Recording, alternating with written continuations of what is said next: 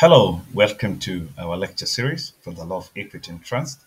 My name is Ayub Okayo, and today I'll be taking you through our fourth lecture, which is our part two on equitable remedies.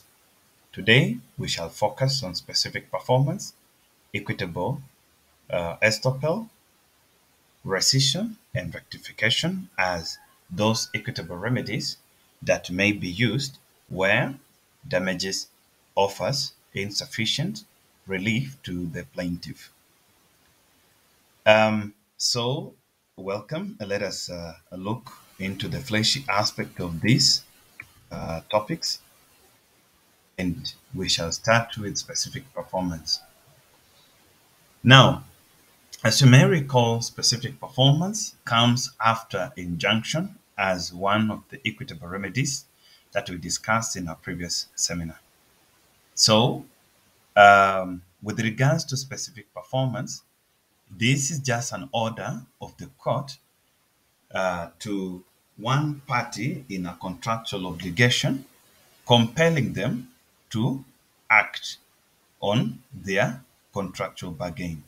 So it's just an order of the court which uh, requires a party to honor their contractual obligation. This specific order, it's a, a remedy which operates in personam, meaning the order goes directly to an individual person so long as they are within the jurisdiction of the court. And um, it's irrelevant if the subject matter of that particular contract it is outside the court jurisdiction.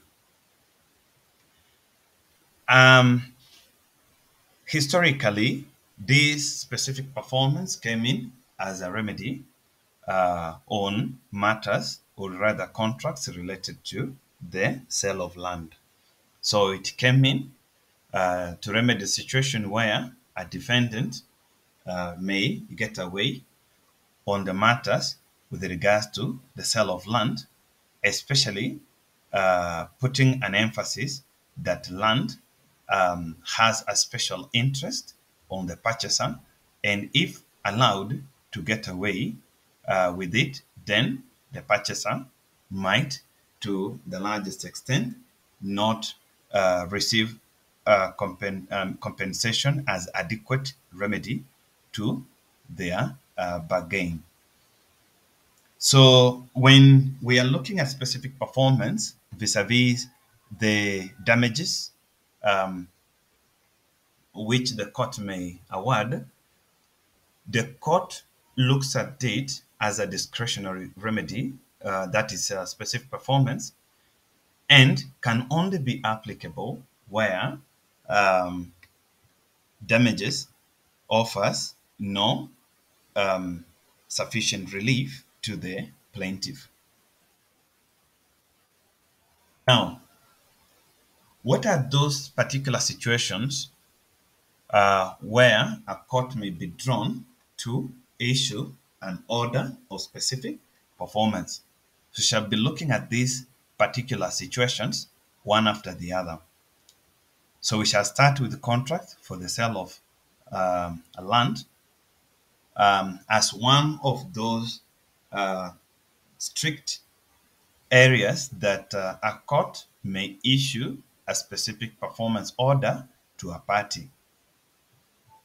As already mentioned to you earlier, um, the onus lies to the defendant to establish why such an order or specific performance may be refused. If they do not, then the court will assume that, um, um, uh, or rather, the court will try to protect the interests of the purchaser, who may deem this land as a unique um, and valuable to those particular purchasers.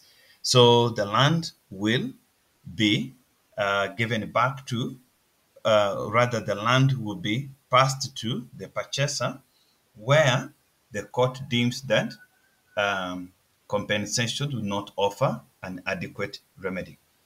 What does the court therefore look at when uh, uh, determining the specific performance with regards to the contract for the sale of land? So the first thing is that the parties must have agreed uh, in principle and uh, in fact on um, um, on the terms of those uh, that that particular contractual obligation. So there must be mutuality uh, of the parties, and the contract is valid, and also the um, consideration has been offered by the parties. So where that is visible, a court may offer a specific performance as a remedy to enforce a contract for the sale of land. Also, the court must uh, uh, satisfy itself that the statutory uh, compliance requirements were fulfilled. Um, so, in this regard, for example, in Kenya, the Land Act requires that um, a contract for the sale of land must be in writing, and in doing so, the parties uh, must ensure that they have documented this agreement so that the court may uh, assist them uh, with specific performance in case there was a violation on that contract for the sale of land. Now, Inasmuch as much as the Land Act provide for uh, this statutory compliance that there must be uh, a written agreement between the parties with regards to the sale of land, there is no specific format that uh, a party may have to follow. So what is mostly uh, relevant to the court is that the parties fulfill the three P's um, for them to deem this contract as um, a statutory compliant contract. So there must be that agreement which uh, parties have agreed in all aspects.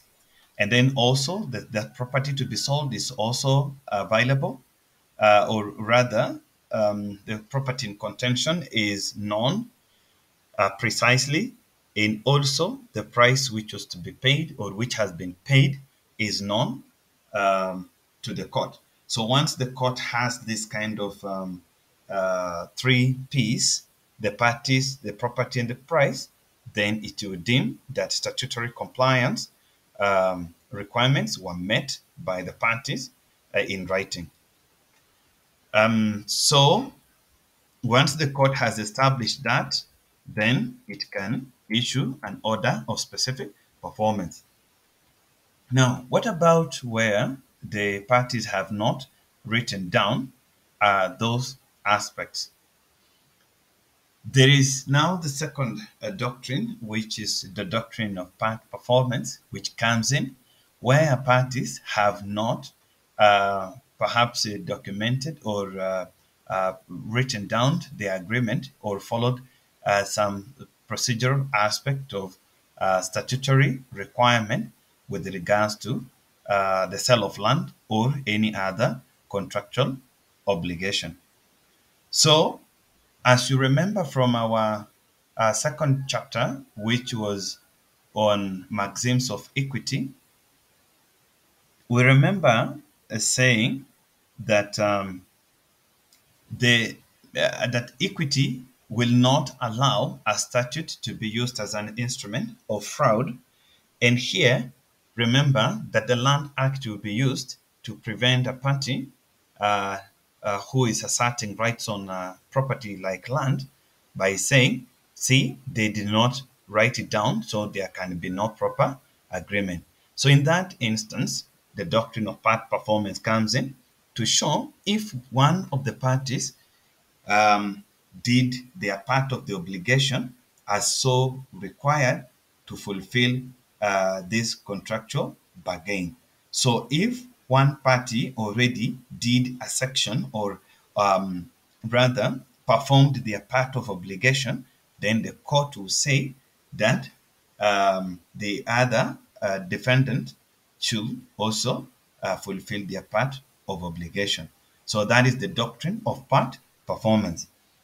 In case law, we have Lowry versus Reid case, which is of course an old case, but it has uh, a necessary uh, explanation that we may require. A mother promised a son that uh, he should give uh, the his own farm to another uh, brother. And then, if they did so, then uh, the mother would write a will um, uh, to give the other property to this first son who gave away their land. Um, after their death, uh, after the mother's death, it was visible that um, uh, the, the, the son who gave away their land uh, um, had not been featured as it could have been in the will. So the court said the son had performed their part of obligation by moving their title of the land to the brother, and as such, um, the mother should was um, not, or, or, rather, did not do it properly to um, refuse to honor their part of the promise. So the court came in and said the part uh, performance doctrine was fulfilled when uh, a son gave away the land to the brother. Um, so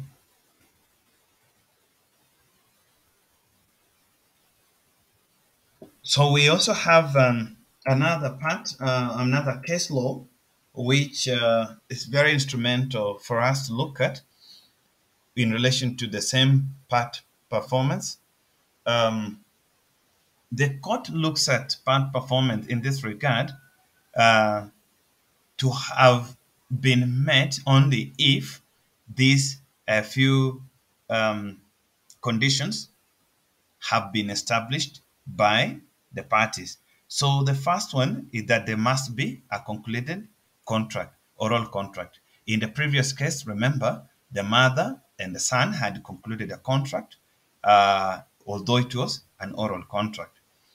Then there must be an intention to perform that contract by the plaintiff. So the plaintiff in that regard was the son and he tried to perform uh, their part of the obligation. So that intention to perform that contract is very important. Then the defendant must have either induced uh, or assented to those acts uh, to be performed by the uh, plaintiff. So the mother induced, or in other words, um, uh, agreed or assented to those acts to let the son give away their land. And also, the court looks at unquestionable behavior uh, which may be done in breach of good faith. So, if it is just unquestionable behavior where somebody is retracting or uh, trying to run away from their contractual obligation, then the court may um, issue an order of specific performance uh, to let them uh, fulfill their contractual obligation. Another um, aspect uh, on this uh, specific performance, the third aspect of it is the contract requiring supervision. So generally, a contract which requires uh, continuous supervision are not uh, enforceable by way of specific performance. However, a court may still find uh, a way to um, enforce these uh, contracts which may require um, supervision uh, um, in specific circumstances. The rationale behind the court's apprehension to uh, fulfill, I mean, rather to compel parties to fulfill uh, a contract which may require a continuous uh, supervision by the court is that supervision may not be practical and it will be very difficult to make uh, sure that the defendant um, um, the defendant complies with the order itself. So the the defendant is likely uh, to fail um, to, to, to fail in honoring of obligation with regards to uh, that particular uh, contract if supervision is uh, required continually. So the court may not be uh, in position to keep on um, uh, compelling or rather supervising a party to comply with a particular obligation. So if it requires too much of that supervision, kind of, then the court will not uh, issue a specific performance order. Um, we have a case of uh, Cooperative Insurance Society versus Argyll Stores. Uh, in that case, the plaintiff granted a 35 year uh, lease to the defendants of a unit in a shopping center. The lease contained a covenant which obliged the tenant to keep the premises open for, a, for trade during normal business hours. The tenant subsequently decided to close its uh, supermarket business and duly shut up that shop. The Lord Hoffmann, uh, in determining that particular case, um, stated that that order um, of specific performance must have sufficient precision so as to avoid wasteful litigation. So it must be very precise that this is the order that's going to uh, be performed, and that order should not require a continuous supervision because it risks the defendant uh, from contempt of court um, if they do not fulfill that particular um, court order. We also have um, contracts to build or repair um, a, a, a premise. As such contracts generally are also not able to attract an order of specific performance. But of course, we have some circumstances where that order of specific performance may be uh, granted by the court. Um, of course, as always, um, it's um, deemed that uh, damages will normally be adequate uh, remedy um, in areas of, um, um, uh, or rather, in contract relation to building or construction, because you can always hire another contractor or um, another builder to come and complete the works which have been abandoned or left behind by the other party. There are exceptions, however, to the extent to which this general rule may uh, uh, still not, uh, I mean, where the, we may depart from this general rule as an exception uh, to the contracts to build and repair. So, in the case of um, Wolverhampton Corporation versus Emmons, the court held that um, specific performance contract may be granted provided that the building or repair works are defined precisely and so specific that the court itself may know which um, um, which which part of that particular contract is to be performed precisely. So let's say you are constructing a building and the only thing which is left on that particular building um, is maybe roofing. So the specific aspect of it is roofing and roofing um, maybe with regards to uh, putting iron sheet or or whichever way you're doing. Or say uh, the specific performance on that particular building is only to insert or to fit windows and doors on that building. So that is very precise and well defined that the court may not be left wondering what um, uh, is, is specifically to be performed. And in fact, the court will deny uh, will deny this uh, specific performance remedy where it deems that the uh, task to be performed is not precise enough that may leave the defendant wondering what exactly they ought to do. Um, also, the the court established in the in, the court established in that case that the claimant must have a substantial interest uh, in having the contract performed, and that interest must not be capable of being compensated by way of damages. Of course, the defendant should also have uh, the permission uh, or the possession of the land in question or the place which is um, in question where the contract is going to be performed. Um, so we we have another uh, we have another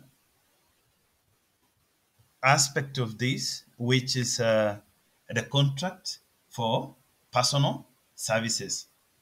So, what happens where there are contracts where people are offering their services uh, with regards to fulfillment or rather the court's remedy on specific performance?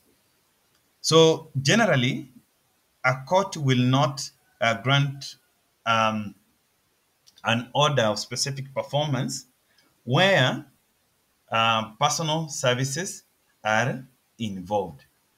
Uh, the rationale behind this is that the, the court will not force someone to work against their own wishes.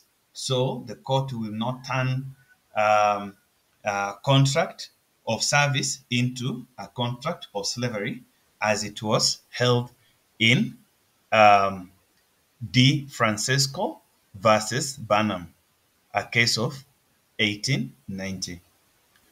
Um, also, where you've hired a musician or um, uh, a comedian to come on stage and perform, uh, you may, if they fail to perform or they delay to come, uh, or rather forfeit this particular contractual obligation, you may not ask the court to come and compel them so they can fulfill this part of their bargain.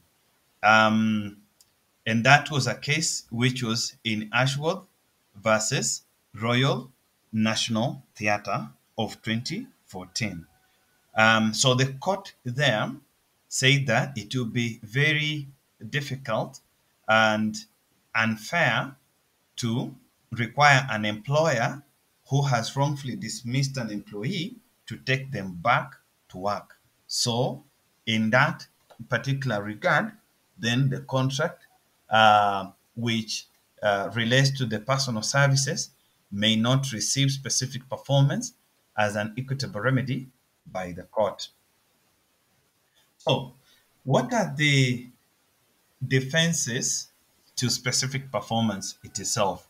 So, if somebody is saying, I mean, rather, uh, and the plaintiff is approaching the court and telling the court that um, um, uh, to compel the defendant to act. The defendant may come up with uh, these defenses to say, no, uh, look, it is not practical for um, the court to compel me to specifically perform my part of the obligation.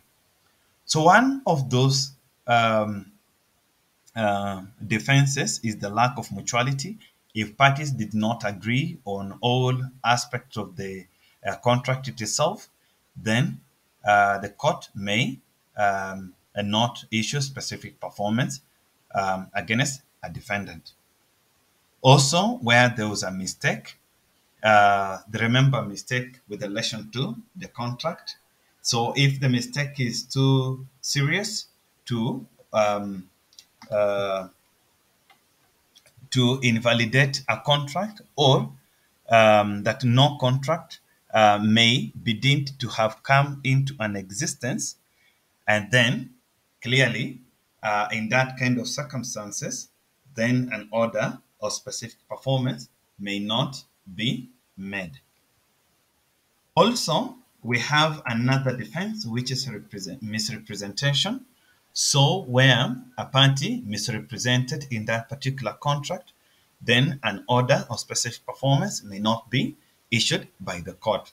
When looking at misrepresentation, uh, whether it's fraudulent or innocent misrepresentation, it is very important that you understand that that particular misrepresentation must have um, must be uh, uh, uh, one which we cannot is not so serious to the extent that um, a plaintiff may be justified to rescind from that particular contract.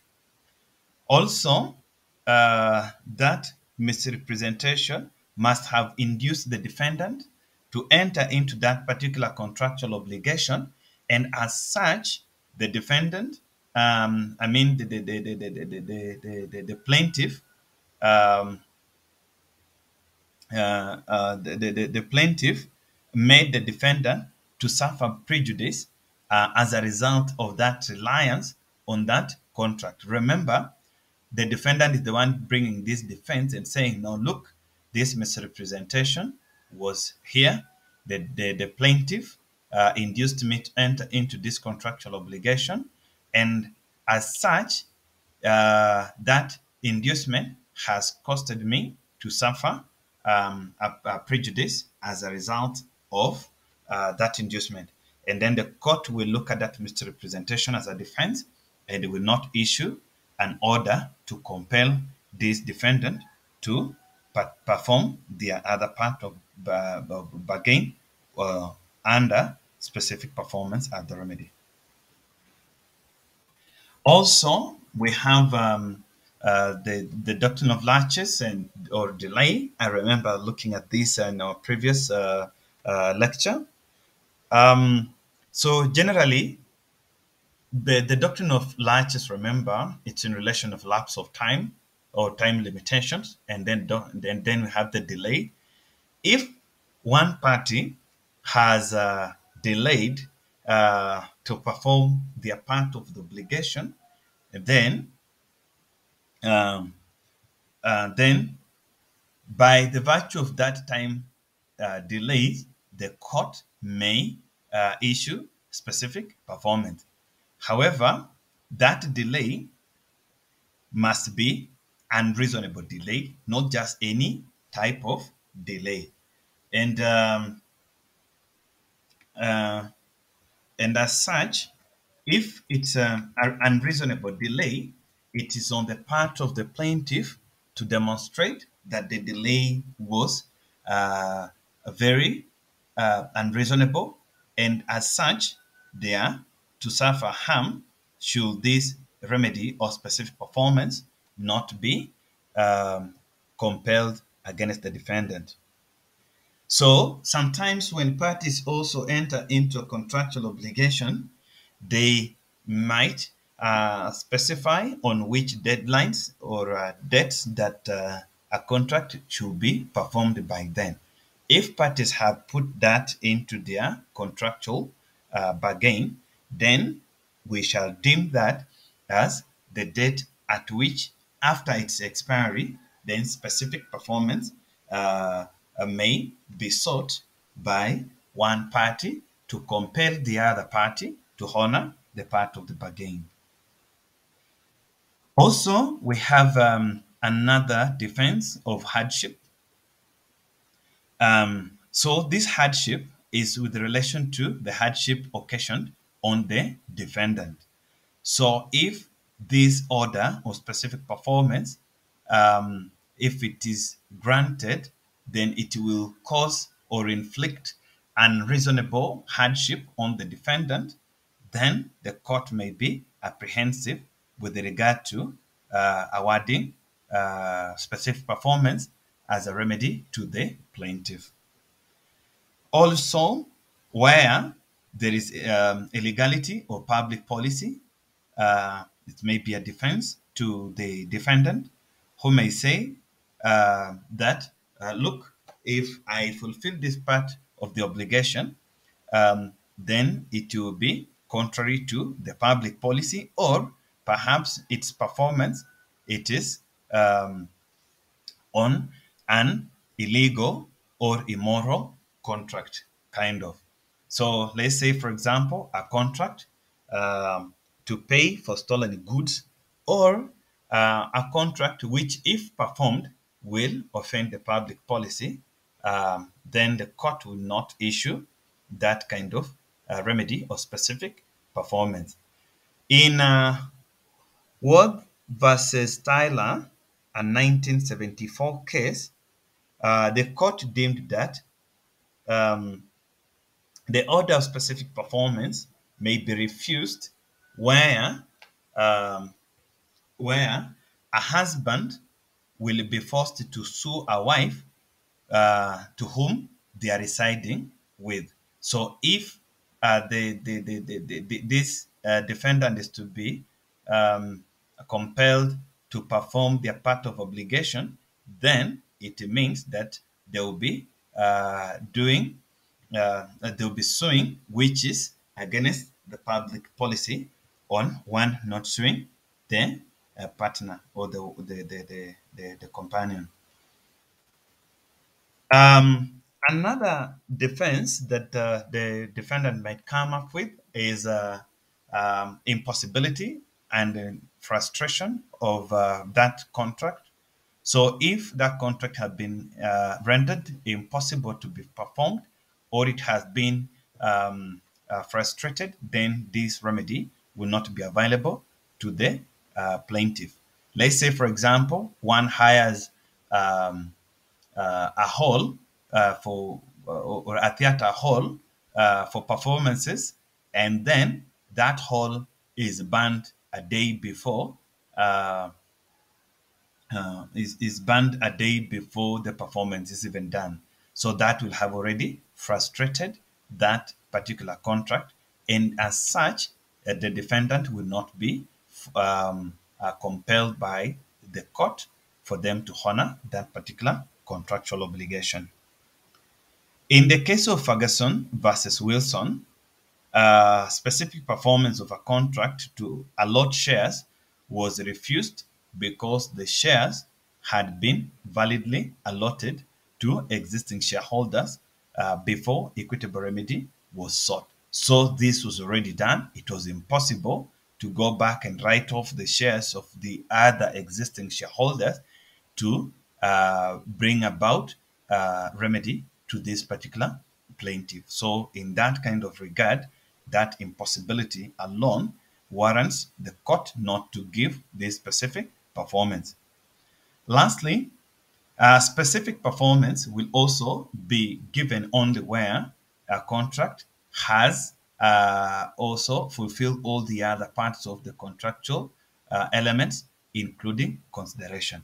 So, where um, a parent perhaps uh, uh promises uh, another part, I mean, the, the parent uh, promises um, maybe a daughter to give them something, and in, with regard, no consideration has been provided by different parties, then the court will not enforce such kind of obligation. Remember, the the first case that I cited, uh, where a son uh, uh, and, a, and a mother um, agreed in principle on a transfer of land from the son to another son, that uh, shows that there was a consideration from this son, who is the plaintiff in that case.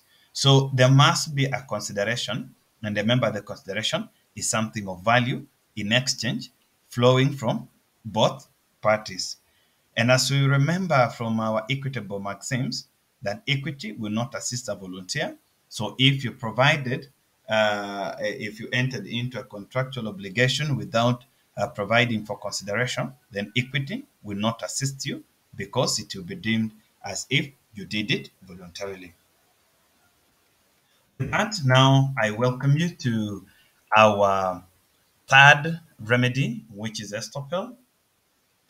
Um, under this, um, estoppel refers to that principle which um, uh, the, the court, um, or rather the term estoppel refers to the legal principle that prevents someone from going back from their promise or what they had made a representation to the other party that is this is our position so a party will be stopped uh, from going back from their promise or asserting um, uh, rights on another uh, another's property. So uh, estoppel basically looks at what the parties uh, had agreed. Remember, in most cases, uh, with estoppel, there is normally an obligation which is in existence, and as such, parties get inferences or representations from the other parties that um, they, they that um, uh, they, their contractual position, um, or rather, the, their contractual position may be varied by way of that representation or that statement. So I will look into these kinds and uh, break it down quite so that it can be easier for you to understand. But just from this particular PowerPoint slide, I want you to understand that estoppel is just precluding a party from going back from their own original uh, promise. So we have different types of uh, estoppels. Um, and uh, those are normally categorized based on how they are used by the court to award the remedy to the plaintiff. So we have um, uh, what we call um, estoppel by representation, which is the biggest of all, I guess, uh, from um, based on my readings. This kind of estoppel, it has two major branches, which is the promissory estoppel and proprietary estoppel. And so those two jointly are called um, reliance-based estoppel. Why are they called reliance-based uh, estoppel? Is because a party relies on representation which was made by uh, the, the, the, the, the defendant, and then the defendant are trying to run away from those representations and then the court will stop them from running away from those representations. We also have um, estoppel by record. We also have estoppel by silence, uh, and also um, estoppel by delay or laches, and also estoppel, uh, which we call issue estoppel, and many, many others because there's so many factions of this estoppel depending on circumstances under which you wish to invoke this estoppel to act on your favor. So I will just um, highlight on two types of estoppel here because they're not in the slides. I didn't find it uh, very um, helpful to include them by virtue of how they are. So estoppel by record, we might have this as a, um, that type of estoppel where you find that, uh, let's say, one has been convicted. It is on the record. There's no um, way we can argue that. It's on the record that this person has already been tried on this issue or this person has been convicted for this. So it is on the record. So the other party will be stopped if they went into what has already been put, uh, uh, like uh, which has already been finalized. So the record will have already shown that you look this person has already been tried. Another thing, uh, for example, another example mean for estoppel by record would be I have a legal title to this property. I have this uh, document of um, um, title deed to demonstrate that I am the legal title owner of this property. So the other party will be stopped that you see you are trying to purport the ownership. Where is your document? So the record shows that this particular person is the one who is the owner of this property. Another estoppel that I did not discuss in the slide, I just wish also to echo it here, is the silence, uh, estoppel by silence or acquiescence.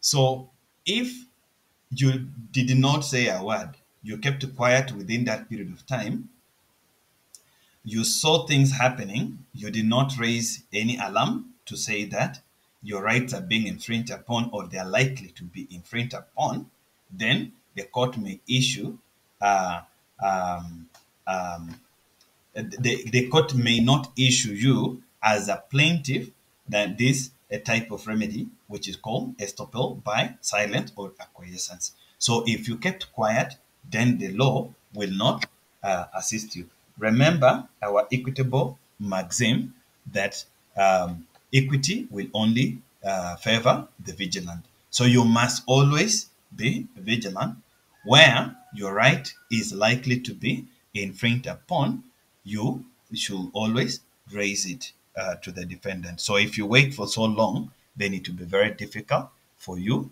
uh, to get this remedy. Also, delay. Uh, perhaps if you took so long to delay, uh, then the estoppel will not assist you as the plaintiff. So the defendant will say, look, time has gone ever since this happened, they did not raise it, so uh, they should be stopped from raising it again. With that, I will move forward to reliance-based estoppels because this one, this ones are quite uh, um, uh, complex and that requires more uh, discussion. So with the reliance-based estoppels, as I already said, there must be a statement which was relied upon by the other party. So that statement might have been said or a representation and done to show that uh, this particular party, this particular party um, um, ought to change their legal position based on that. So we have two categories of these. We have the promissory estoppel uh, where a person makes a promise to another, but there is no um, enforceable contract at that time. Remember, this there's, there's one thing uh, perhaps I will wish to shed light here that um, estoppel comes in where there's already an existing contract. I already mentioned that.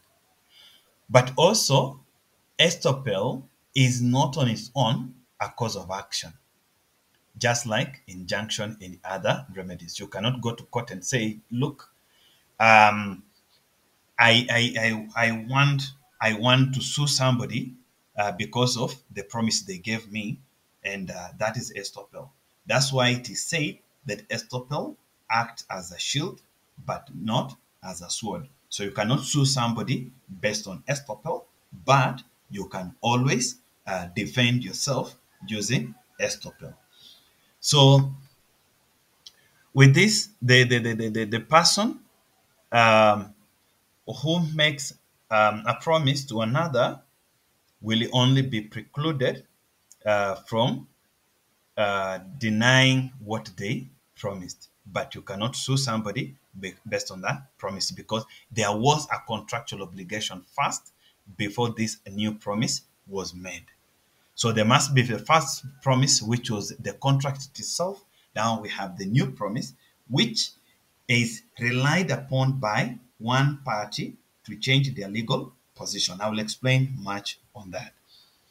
We also have proprietary estoppel, which emanated basically because of uh, land uh, matters, um, where uh, if a party um, uh, let's say, either um, is uh, fighting on, over the title of that property through maybe inheritance or uh, maybe they bought the land and that land is in question. Then proprietary estoppel will be uh, trying to stop a party who may want to act unconscionably or at some point, they may compel a party, um, um, they may compel a party to honor the part of obligation uh, and to be stopped from denying that they made a specific representation or they uh, said specific words that were relied upon by the plaintiff. So all reliance-based estoppels require a victimized party to show both inducement to enter into that contract and then detriment, uh, there's a detriment which was is likely to be suffered or has been suffered by reliance on that promise. When is representation then relied upon? Uh, the representation is relied upon if it is so substantial to the extent that it may um, uh, is likely to change the position. sorry, is likely to change uh, the position of the other party. So the, of course, the defenses in relation to the contract law misrepresentation applies here uh, fully. So if you conversant with those misrepresentation uh, defenses, uh, they will be very helpful when you're looking at uh, that representation itself. Now, so we've talked a bit about the promissory estoppel, but what is it exactly? So promissory estoppel, um, it is um, this type of estoppel that it precludes a party who is already in a contractual uh, relationship which is in existence. Um, it precludes those uh, the, the, the party from going back from their new promise. So let's look at it this way. There was the first promise which is the actual contract that parties have to act ABCD. Then, after that, a period of time, another new promise comes in from another party, uh, from, from, from uh, uh, an, yeah, one of the parties, and say uh, you should act ABCD, or if you acted in that other way, then it will be okay to me. So that representation is relied upon by the other party to change their legal obligation. An example can be this. You live in a three bedroom house which you renting. Um, uh, maybe let's say it's a lease agreement uh, for one year.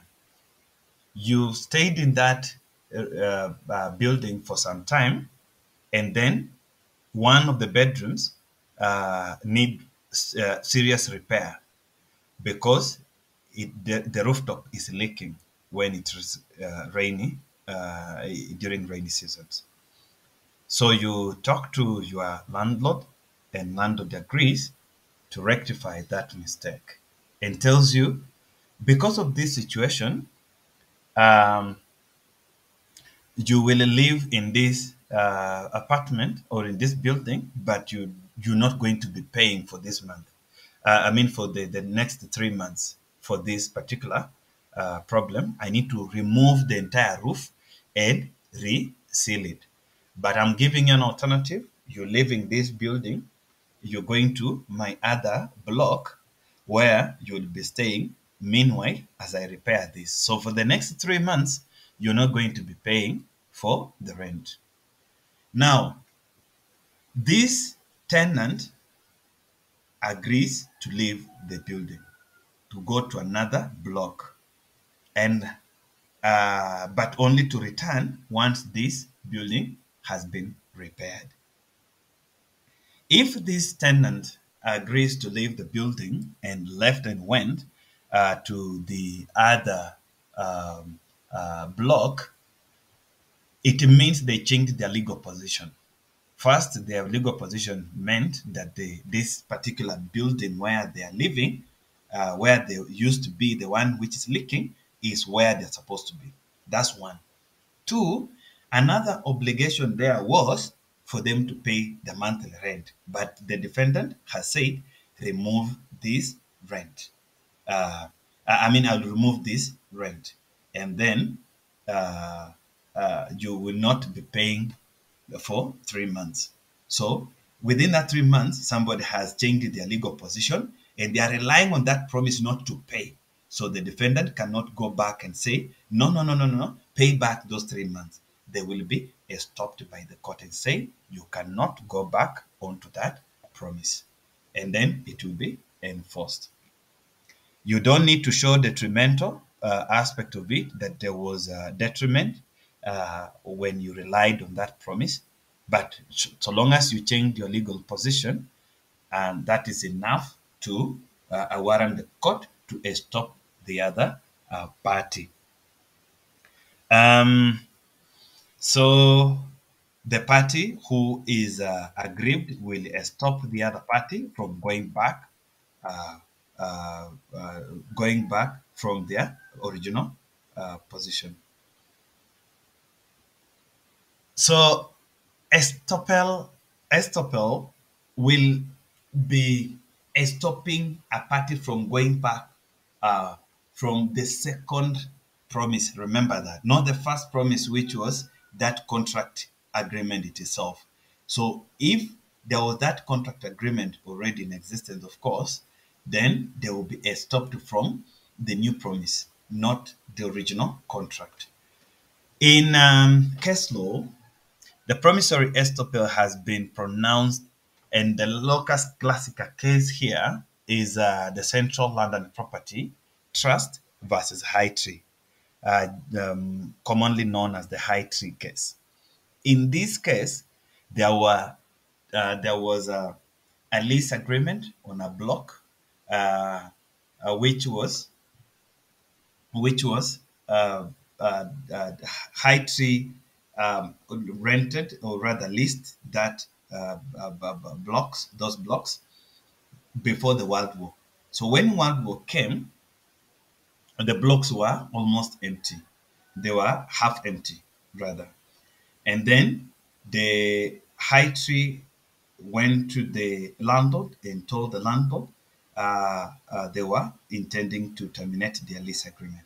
The landlord affirms and says, uh, you can pay half of what you've been paying so long as we keep the lease agreement going.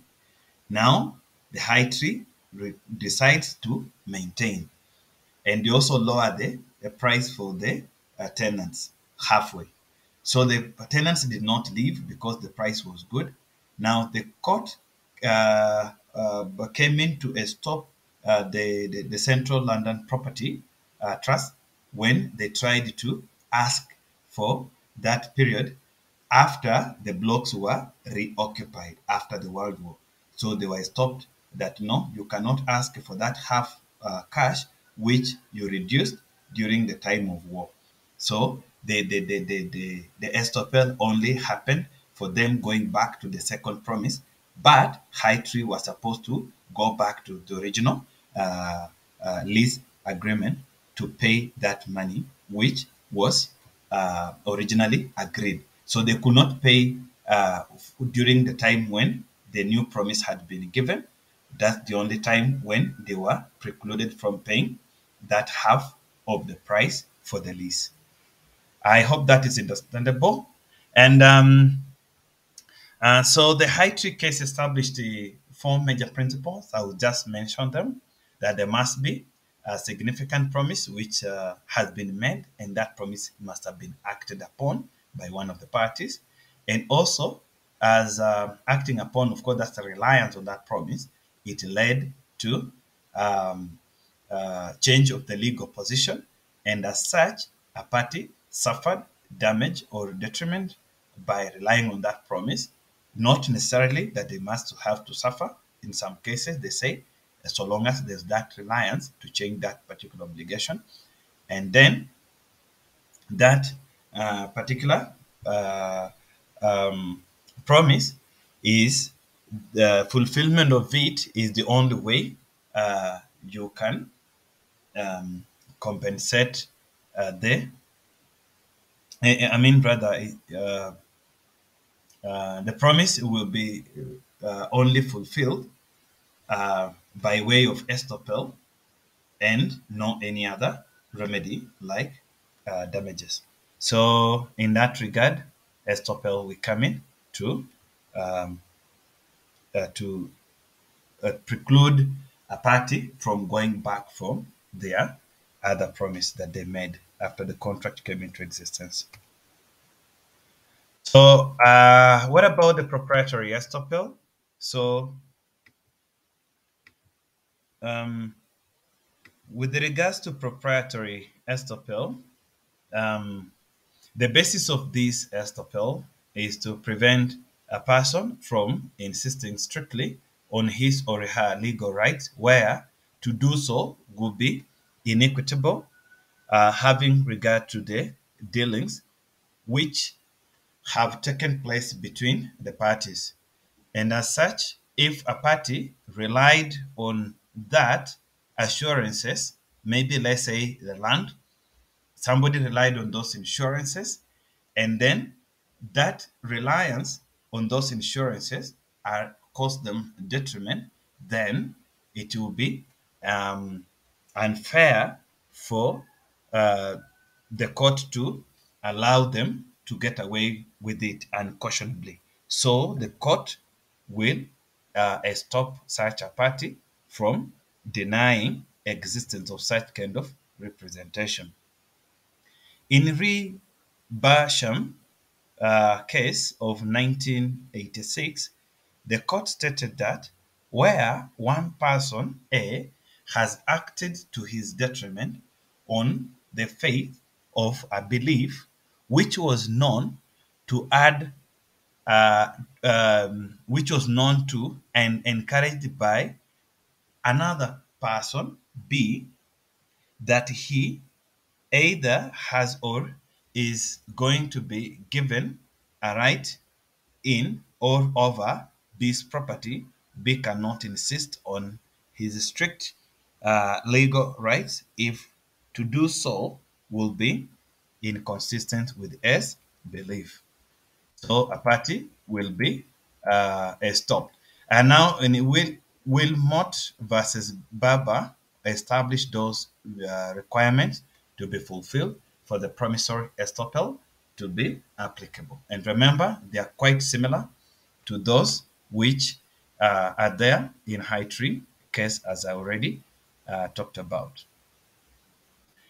So we also have other types of uh, uh, um, estoppels where we have um, um, we have uh, other than reliance-based estoppels that I've explained in details, we also have uh, equitable estoppels, and this specifically is an, a US approach that uh, lays down uh, the elements which must be fulfilled, and that's uh, the, the part of misrepresentation, like we just said, or concealment of information, uh, the knowledge of the true facts. Uh, we have the fraudulent intention, we have inducement and reliance on to that, then the injury or the detriment uh, to the complainant. So that's how the US approach takes it. It's quite very similar to the UK approach. Now, another one we have the issue estoppel, and under this, uh, a person who is going through a litigation may not uh, be enforced. I mean, uh, uh, may, may not may not suffer a second uh, litigation on the same issue if that issue has already been settled by the court. So, um, any court uh, of justice uh, will be always be prepared uh, not to issue um, an order of estoppel, or rather, uh, to to will will will not compel a party to reappear on the same same issue which they have already uh, been tried upon, even if it means it is with the different parties at that time when that issue is coming on board. So, uh, issue estoppel is just um, based on the issue which the court is uh, uh, the, the, approaching the court with. It can be with regards to that particular contract, or it can be even in criminal matters or any other matter, so long as you can identify that this issue has already been tried by the court. Now, other than this um, estoppel, which is our third uh, remedy, we also have rectification um, as an equitable remedy. And under this rectification, um, as all, as we already stated, is a discretionary remedy, which um, tries to make an amend on uh, the instrument, the contractual instrument. If left as it is, then it will be uh, so difficult uh, to uh, understand the actual intention of the parties to that contract. So you might find um, maybe the parties say the buyer shall pay, uh, I mean the seller shall pay the buyer.